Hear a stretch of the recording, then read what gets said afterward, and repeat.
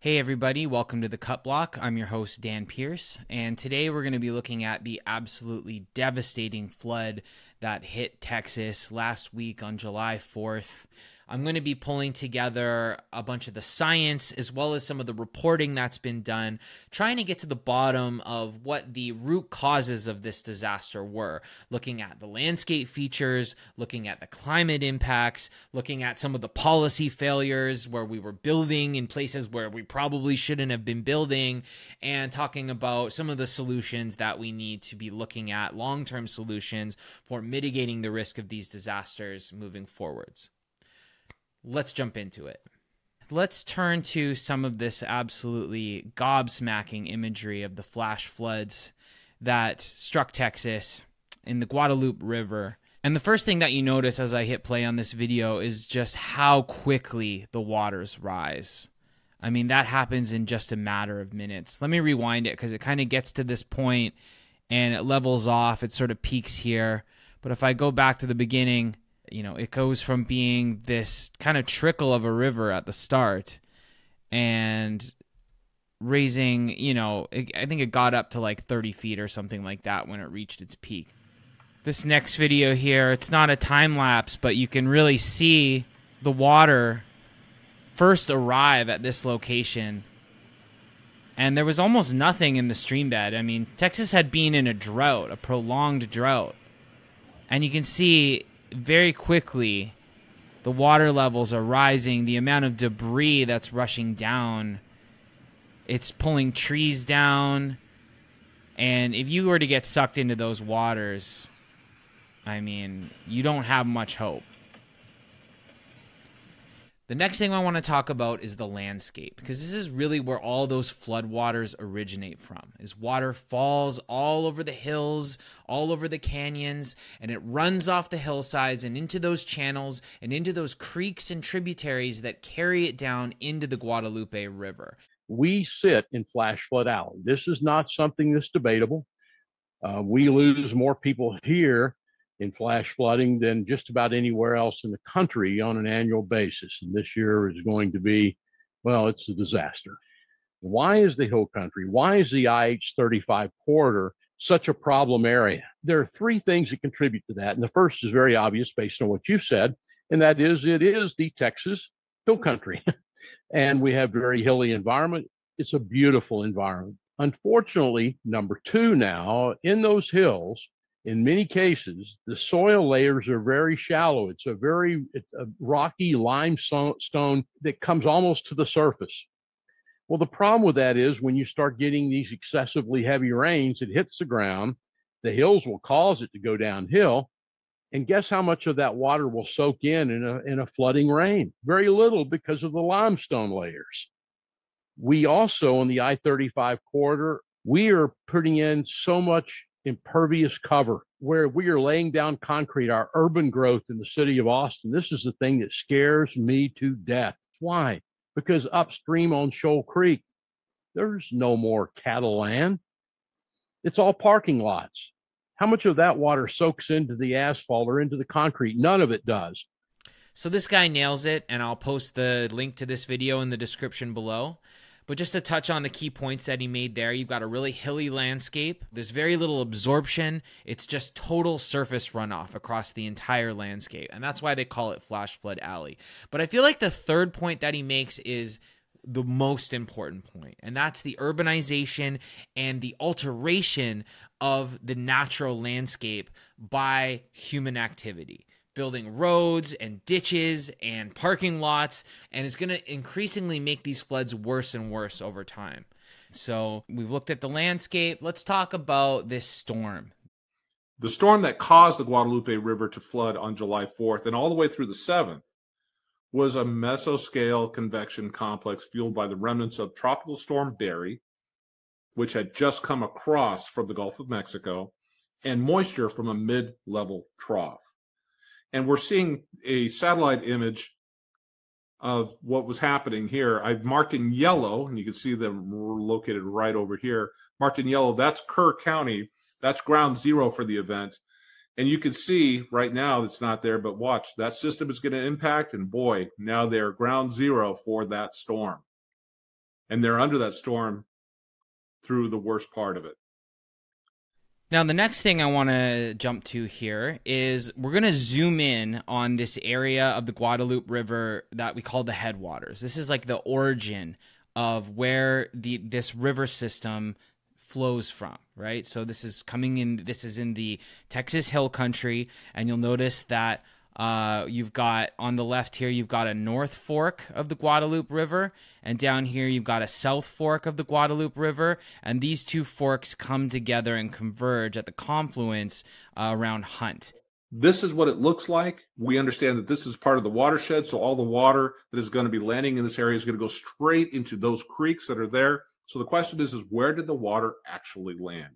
Well, we have meteorological data, and we're going, we can layer that on top of this image. And there it is. The pink or purple pink that we have in here is about six inches that fell over a three hour period, a little over six and a half inches roughly. Ground zero for this is the South Fork Guadalupe River and a little bit of the North Fork of the Guadalupe River. Uh, this is where all this rainfall came in. Any water that fell in here is going to hit those vertisols. The vertisols are going to seal up and immediately start diverting that water off the surface and straight into the river. So everything that falls in here, six and a half inches of water over that entire region, dumping straight into those channels at very high velocity. That's going to have a dramatic effect on the water levels of those creeks very quickly. So basically, the location of where this storm happened to land is really, really relevant. And also its spatial extent. Normally, when we think about rain, we only think about rain in terms of its local effect on us. Is it raining on me? what we don't often think about is the fact that that amount of rain, you know, and when you think about six inches of rain, I mean, that is a massive downpour, but you can't just think about it in a localized way. You actually have to multiply that outwards across a massive spatial extent. And all of that water is dumping right into the headwaters over a prolonged duration. And now that water has nowhere to go but down the river here. All right. Now, so far, we've been talking about this in terms of the weather factors and the landscape factors that contributed to the scale and the magnitude and the duration of this flood and why it was so destructive. But there's a whole other dimension to this that we have to factor in, which is the land use, right? Where did we build structures? And you know, uh, one of the absolutely devastating realities of this is that Camp Mystic, which has been a focal point of this because of all these young girls who died, this camp was sitting at very high risk of just such a flash flood. The National Flood Insurance Program has long known that this is a flood zone, a special flood hazard area. Camp Mystic is located right here. Here's the South Fork of the Guadalupe River moving right through here. The water would have moved in this direction here. Here's a major floodway. And in fact, they even have surveyed in the elevation points for the base flood elevation for a 100 year flood uh, for these major events. The buildings, the dormitories were located right here, right along this building where most of the people were impacted. Most of the children were impacted, unfortunately. So it had been long known that this was an area that would be impacted by a severe flood. When was this information known? Well, it had been known since at least 1987. My understanding is another flood had come through here in 1978. And yet there's still this summer camp here with children, 750 children staying at this camp. This was not the only camp that was impacted. There were several camps along there, and there were there were fatalities at the other camps as well. But just the idea of public policy of letting 750 children spend the night in a canyon that is known for catastrophic flooding isn't eh, it's it's problematic. So just to build on that, let's look at some of the reporting that's been done on what this guy's saying here. FEMA, the Federal Emergency Management Agency, removed dozens of Camp Mystic buildings from the 100 year flood map before expansion, records show. The Federal Emergency Management Agency included the prestigious girls' summer camp in a special flood hazard area in its national flood insurance map for Kerr County in 2011, which means it was required to have flood insurance and face tighter regulation on any future construction projects.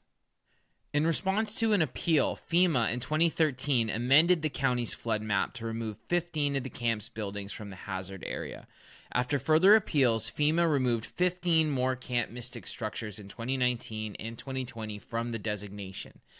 Experts say Camp Mystic's request to amend the FEMA map could have been an attempt to avoid the requirement to carry flood insurance, to lower the camp's insurance premiums, or to pave the way for renovating or adding new structures under less costly regulations. So, I mean, this is just a classic case of camp management trying to cut corners, skirt the regulations, and be exempted from very common sense flood safety measures, rules, and regulations that are meant to protect the camp's attendees, all in an effort to lower their costs, lower their insurance premiums, or be able to expand in order that they can make more money. Now, let's talk about the elephant in the room. Let's talk about climate change because while it's difficult to say that any given storm was a direct result of climate change, I think that at this point we can say that storms like this are becoming way more frequent, way more intense, way more destructive. Even now, before proper attribution studies have been done, there's a lot that we can say. So, this is from Climate Central. So, first of all, you have uh, warmer air able to hold more moisture and resulting in more intense rainfall. You have climate change making the pre existing drought conditions more likely to occur. And of course, you have just the frequency of these events becoming more likely to occur over time because of climate change. And the last thing I'm going to share with you here is uh, this op ed in the New York Times which is called simply Stop Building in Floodplains. Now, let me just say off the top, of course, easier said than done. There's a lot of building that has already taken place in floodplains, and a lot of the what we used to look at as floodplains that had an acceptable amount of risk are now facing a much higher risk with climate change and of course with all of the land use and development that's happening in the area, right? So essentially, you know, one of the things we have to think about here is that not only have we built in floodplains, but all of that building that we've done in floodplains that eh, which is now at risk has actually made the risk worse so where you're building roads into watersheds where you're building ditches into watersheds where you're basically removing vegetation from the land all of that has an effect on the hydrology and makes it more likely that these flash floods are going to happen so, bottom line, we're going to have to figure out how to coexist with these river systems in this new age of flooding. We're going to be living in a world where those 100 year floods are happening every other year, or the 1,000 year floods are happening once a decade right? So it's just not going to be practical to live in some of the most risky floodplains anymore. And so we're going to have to do some sort of a managed retreat, right? We're going to need to restore these floodplains so that they're actually able to allow the river to breathe and to store water when the floodwaters rise without destroying an entire community and taking people's lives. At the same time, we have to think about what we're doing in the uplands as well right? We can't be spending all this money on flood infrastructure and solutions in the downstream areas while continuing to do all this damage in the upstream, logging forests, building roads, building shopping malls and parking lots. Like that is just going to negate all that good work that we're doing in the downstream. So, what we do in the low lying areas has to be synchronized with what we do in the uplands. That's all I've got for you today. Thank you for tuning into the Cut Block. And I'd also like to invite you to go check out my new film, Trouble in the Headwaters. It's a 26 minute documentary all about the 2018 Grand Forks flood in the interior of BC and how that flood was connected to significant clear cut logging in the headwaters of the Kettle River Basin. That's on the Narwhals YouTube channel. I'll post a link to that down below. And uh, yeah, thank you again for tuning in. Uh, Uh, be sure to like this video, subscribe to the channel, and if you like this content, uh, go over to my Patreon page and become a member. Support this work, and I hope to be doing this more regularly and more consistently, but I can't do that without your support. So thank you again for tuning into the Cut Block, and I'll see you next time.